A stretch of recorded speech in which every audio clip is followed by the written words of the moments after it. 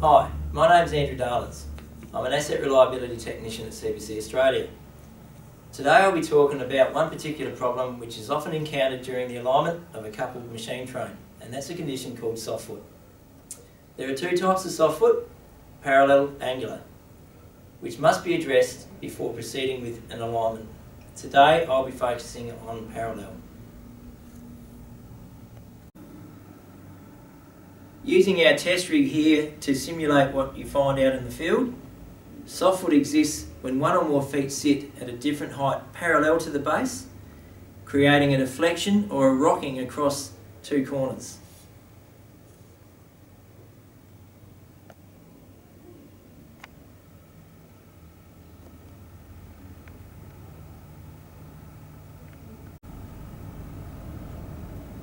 Now there are a number of reasons why this deflection may occur, some of which are warping of the base,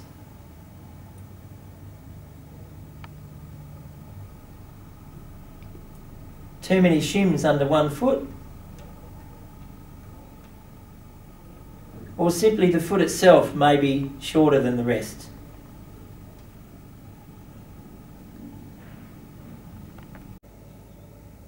Here I have set up our laser alignment equipment onto our test rig. I have already entered in the critical measurements to our handset.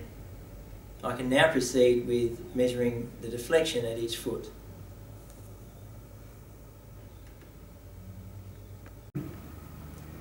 So starting with the nominated bolt, we simply loosen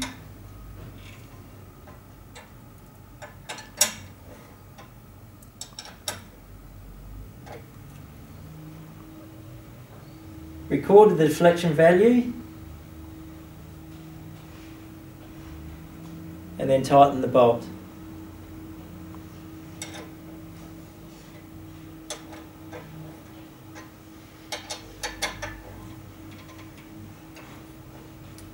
Then it's just a simple matter of repeating the step for the remaining bolts.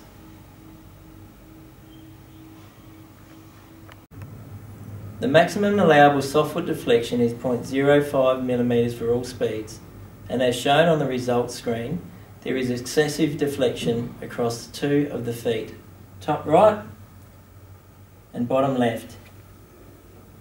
And by placing shims to the value of at least 0.17 of a millimetre under the bottom left foot, this should rectify the problem. This is the corresponding foot.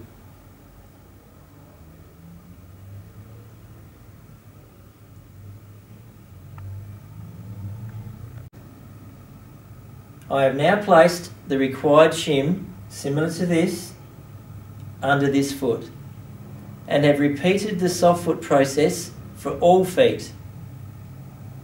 And now, on our results screen, you can see that the soft foot have been reduced to within the allowable limit of 0.05 of a millimetre for all feet. We can now proceed with our alignment. This concludes our demonstration on parallel soft foot. If you have any further questions, please contact your local CBC branch. Thank you.